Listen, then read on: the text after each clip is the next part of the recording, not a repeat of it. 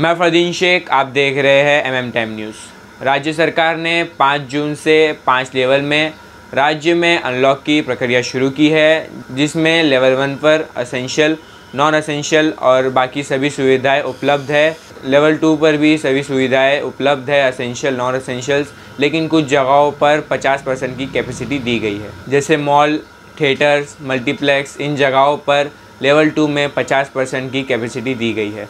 Level three में essential service सभी दिनों के लिए सिर्फ़ दोपहर के चार बजे तक खुली है और नॉन असेंशियल सर्विस सिर्फ़ वीकडे में चार बजे तक खुली है, जबकि मॉल थिएटर्स मल्टीप्लेक्स ये सभी बंद है। लेवल फोर में असेंशियल सर्विस दोपहर के चार बजे तक खुली रहेगी सभी दिनों के लिए, जबकि non essential service mall multiplex ये सभी और ऐसे अन्य प्रकार की सभी चीज़ें लेवल फोर में बंद रहेगी। और लेवल फाइव में असेंशियल सर्विस दोपहर के चार बजे तक सिर्फ़ वीकेंड में खुली रहेगी और non essential service level five में बंद रहेगी और मॉल सिनेमास ये सभी चीज़ भी लेवल फाइव में बंद रहेगी।